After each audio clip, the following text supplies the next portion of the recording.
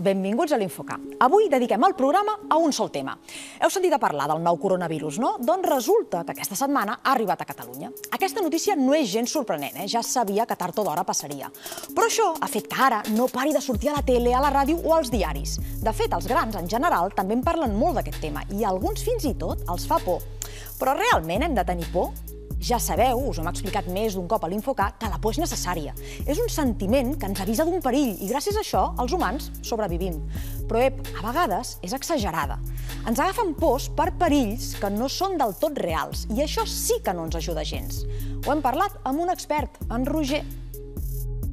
La por, la por és ben real, i tant que sí. El que no és tan real eh, són els perills de vegades hi ha perills que són de veritat i altres vegades són perills que, que, no, ho són, que no són reals. Per exemple, podem tenir por a, a coses que no són perilloses realment. La por a dormir sols, la por a la foscor... En realitat la foscor no és gens perillosa, però li podem tenir molta por. De vegades també tenim por de coses que sí que són realment perilloses. Si tu vas per la muntanya i et trobes una serp verinosa enmig del camí, més val que apretis a córrer i surtis corrent, perquè allò és un perill veritable. I finalment hi ha coses que poden ser perilloses o no, depèn de com ens hi enfrontem. Per exemple, eh, banyar-se en una piscina si no saps nedar i si no portes un flotador pot ser ben perillós. I en això sí que li hem de tenir una miqueta de por, però si prenem les precaucions necessàries, aleshores ens podem banyar sense cap mena de problema. Amb el tema del coronavirus passaria una miqueta com això últim, és a dir, és una cosa que pot ser perillosa, de, de debò, eh, però si prenem les precaucions necessàries podem disminuir aquest risc al màxim possible i per això segurament veieu a tota la gent tan atabalada últimament buscant maneres de que aquesta cosa que és una mica perillosa deixi de ser-ho.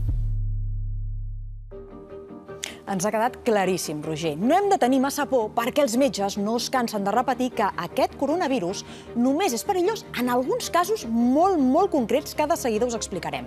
Per a la majoria de gent no és una malaltia gens perillosa. Això sí, el que hem de fer és prendre precaucions per evitar que s'escampi. I ja que parlem de tenir por, sabeu quina és una de les millors maneres de lluitar-hi? Doncs informant-nos. I això us serveix per gairebé qualsevol tema. Saber de què estem parlant és molt important. Per tant, investiguem què és aquest nou coronavirus. Ens ho expliquen les dues Núries. Què són els virus? Els virus són uns organismes tan petits que només els podem veure amb l'ajuda de microscopis. A la natura n'hi ha molts, moltíssims, i de formes molt diferents. I de vegades alguns es colen dins del nostre cos i fan que ens posem malalts. Com es diu el nou virus? Té un nom complicadíssim i difícil de pronunciar, aquest. Però tothom n'hi diu coronavirus. Per què?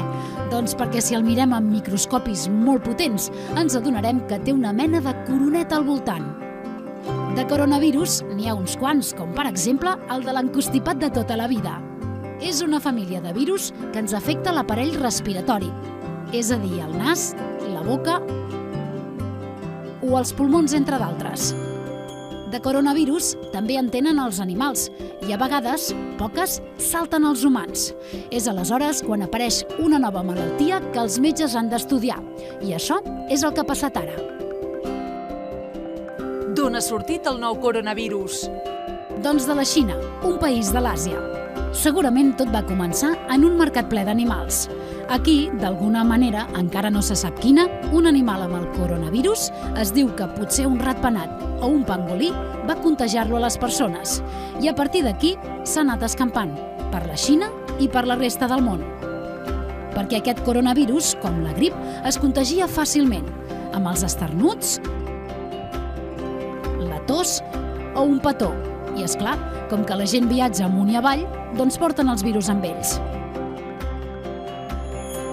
És greu? Tot i que cal estar-ne pendents perquè és nou, els metges no es cansen de repetir que no és greu. La majoria de les persones es curen. Només és greu, com també passa amb la grip, en aquests casos, quan la persona que l'agafa té alguna altra malaltia que fa que estigui molt dèbil. Si és una persona gran, o si és un nadó, un nen molt, molt petit. Abans de continuar, us expliquem una miqueta millor què passa a Catalunya. Mireu, de moment s'han detectat dos casos, dues persones malaltes. Totes dues havien estat la setmana passada al nord d'Itàlia, una zona on hi ha bastants contagis. Ara ja estan a l'hospital recuperant-se. Són casos superlleus, semblants a la grip de sempre. Tos, mal de cap, febre... Els metges no pateixen gens per aquestes persones i creuen que segurament n'hi haurà més de casos. El que sí els preocupa, però, com dèiem abans, és que tot plegat no s'escampi massa, perquè no hi hagi molts més malalts. És una malaltia nova i no mola gens que vagi al seu aire. Per això es prenen tantes mesures de seguretat, no perquè la malaltia sigui supergreu. Per exemple, es recomana no viatjar allà on hi ha molts casos. I també es busca les persones que han estat en contacte amb els malalts i se'ls demana que es quedin uns dies a casa. Així, si tenen el virus i encara no ho saben, no passaran la malaltia a més gent. Això ens serveix d'excusa per aprendre, mireu, algunes paraules noves. Aïllament domiciliari o confinament. És una paraula que, entre altres coses, s'utilitza quan una persona s'ha de quedar tancada en un lloc. És el que els passa ara als amics o companys de feina dels malalts, que s'han d'estar a casa per no encomanar als altres, encara que es trobin bé. I estaran unes dues setmanes, que és el període d'incubació del nou coronavirus. Període d'incubació. És el temps que passa entre que agafem el virus i comencem a notar-ne els símptomes. Durant aquest temps, podem passar la malaltia a d'altres persones sense adonar-nos-en. En el cas del nou coronavirus, el període d'incubació dura entre 2 i 14 dies, i per això és aquest el temps que dura el confinament, perquè fins que no passen dues setmanes no podem estar segurs del tot que no hàgim enganxat el virus. Quarantena. Antigament, quan un viatger venia d'un lloc on hi havia malalties, se l'obligava a quedar-se 40 dies aïllat abans de deixar-lo circular lliurement. Per exemple, els mariners es quedaven dins del vaixell o en una illa esperant poder-ne sortir. Ara això dels 40 dies ja no es fa, però la paraula sí que es continua fent servir. Tot plegat, doncs, es fa per no encomanar la malaltia. Una malaltia que s'agafa com qualsevol refredat o grip. La Irene ens explica quins símptomes té i com ho hem de fer per no enganxar-la. Preneu nota, perquè aquests consells són igual de bons per evitar encostipats i tenim molts més números d'agafar un refredat que no pas d'agafar el nou coronavirus. Símptomes. Com qualsevol grip, un dels símptomes és la febre. També podem tenir tos, mal de coll o problemes per respirar. I només en dos de cada 10 persones els símptomes es poden tornar més greus, provocar, per exemple, una pneumònia, una malaltia greu de l'aparell respiratori. Com es transmet? Ja sabeu que quan estem malalts i estornudem o tossim, deixem anar petites gotes. Si aquestes gotetes les respirem o ens arriba a la boca, al nas o als ulls, ens podem contagiar. Però no penseu que és tan fàcil, eh? no n'hi ha prou de creuar-se o coincidir en algun moment pel carrer. El contacte ha de ser llarg. Ha de ser que estiguem molta estona a classe o fer un viatge plegats. Recomanacions. Com sempre, rentar-nos molt bé les mans amb aigua i sabó, i si no amb algun producte desinfectant, com ara l'alcohol. Tampoc cal que ens acostem molt a una persona que creiem que pot estar malalta. Els experts recomanen deixar com a mínim un metre de distància. També és important que no compartim menjar, tovallons, gots i coberts sense haver-los netejat com toca. En cas de tos o esternuts, cobrir-nos la boca i el nas amb el braç, així. Si ho fem amb la mà, fixeu-vos, les movem moltíssim, ens toquem la cara sense adonar-nos, o també podem saludar algú. Una altra opció que tenim és utilitzar un mocador de paper d'un sol ús. D'aquesta manera, l'utilitzem i el llancem a les escombraries. Hi ha tractament? Actualment, com passa amb tots els virus, no hi ha cap medicament que el curi, però sí que n'hi ha alguns que serveixen perquè els símptomes no siguin tan bèsties. Ara, investigadors de tot el món, també catalans, treballen per trobar una vacuna. Una vacuna no cura. El que fa és protegir-nos perquè no agafem la malaltia.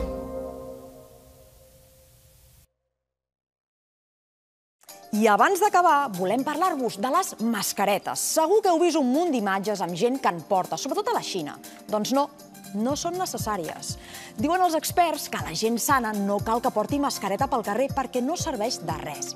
Com ens ha explicat la Irene, ens contagiem si tenim bastant contacte amb un malalt o si aquest ens estornuda molt i molt a prop, però no caminant pel carrer.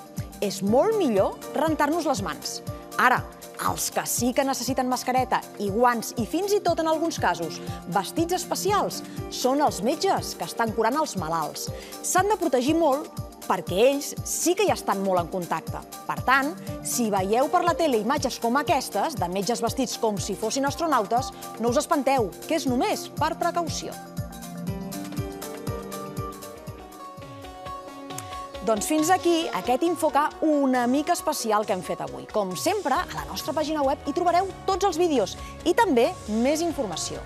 I avui, després d'un programa amb tants virus, hem decidit acabar ballant. Nosaltres no, no, no patiu. Són els BTS, el grup de música de Corea del Sud, que ha actuat en una estació molt famosa de Nova York, una ciutat dels Estats Units. Han cantat el seu últim single, On, acompanyats de moltíssims ballarins. Amb ells acabem avui. Recordeu que ens retrobem demà a dos quarts de vuit del vespre, aquí a l'Infocà. Us esperem.